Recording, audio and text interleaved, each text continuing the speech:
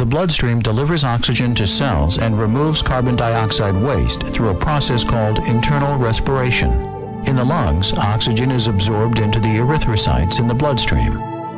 These cells, commonly called red blood cells, contain gas-transporting molecules called hemoglobin. Oxygen binds to these molecules. The oxygenated blood then moves through the vasculature.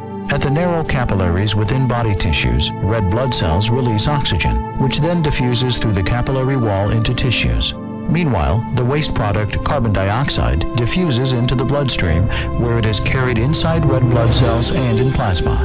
The deoxygenated blood travels through the vasculature and back to the lungs, where carbon dioxide is expelled from the body.